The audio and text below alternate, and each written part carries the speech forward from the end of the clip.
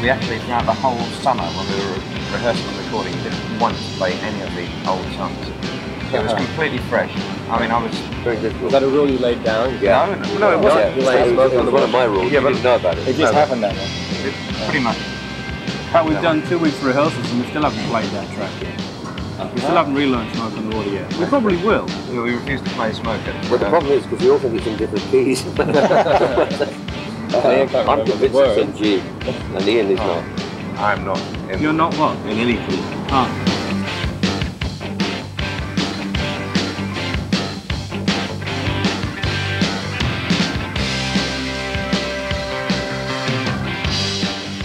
At least a couple of you have, have composed or dabbled in the classical mold of a kind, or at least done things that were more lush or elaborate. Uh, I was wondering if the new album would betray any of that, you know, or whether it was going to be very straightforward, hard-edged. Uh, uh, there was no preconception to this album.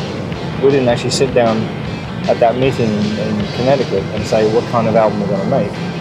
Uh, we just decided to make an album in the same way that we made albums in the first place, which was really go in the studio and whatever happens, happens.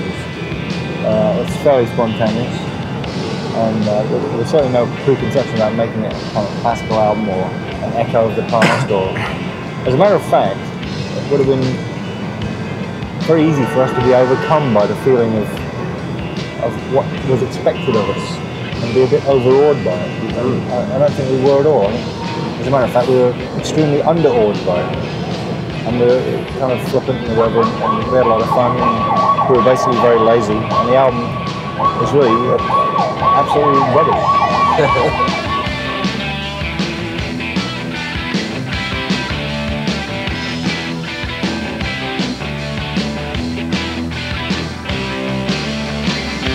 Uh, we are joined by Jon Lord and Ian Gillan from Deep Purple here to mark the release of this LP, Perfect Strangers, which has been a long time coming, although there's been numerous rumours for many years that Deep Purple were going to reform. Uh, Ian, I was reading last night in Pete Frame's book, A Rock Family Trees, that when you first joined Deep Purple, you were on the princely sum of £25 a week. 20. 20. Has it improved since then, your Not a recent lot. rejoining?